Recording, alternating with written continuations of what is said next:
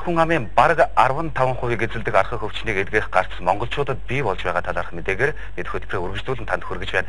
Өчигдөр Монгол улсын хүний хүний эмийн зөвлөлд хуралдаж элгэний С вирусын эсрэг софис буйремыг бүртгэхээр шийдвэрлэжээ.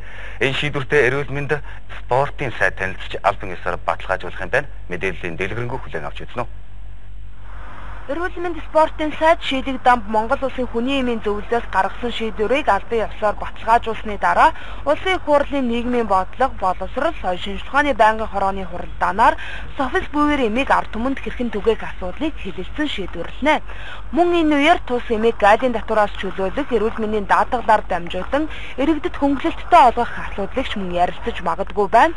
Софис буйр эмийг үйлдвэрлэгч Америк нэгдсэн улсын Glide Science компани хүртээмж нэмэгдүүлэх хөтөлбөрийг өөрийнхөө хүрээнд тус эмийн 3 сарын үйлчлэгийг 900 Америк доллар, харин 6 сарын эмчилгээг 1800 Америк доллараар санал болгоод байна. Гэхдээ энэ бол Монгол улс эдний гепатитыг бүрэн устгах ажлын хүрээнд хийгдэж байгаа ажлуудын дөнгөж эхлэл юм.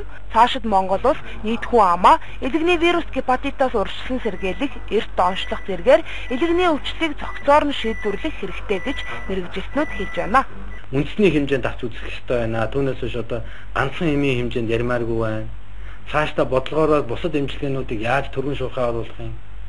Тэндээс одоо улс яаж дэмжих юм? Эрүүл мэндийн даатгал яаж дэмжих юм? Гэх мэтчлэн одоо дараа дараагийн асуудлуудыг шийдэх хэрэгтэй юм аа. Тийм учраас одоо дөнгөж эхлэл гэж яриад байгаа юм аа.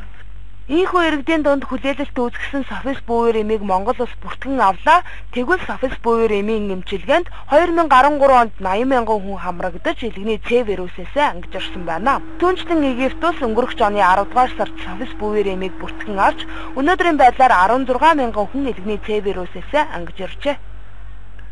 Монголын иргэний нисхийн салбар 2015 онд багтаан агаарын зайд шин технологи нэвтрүүлж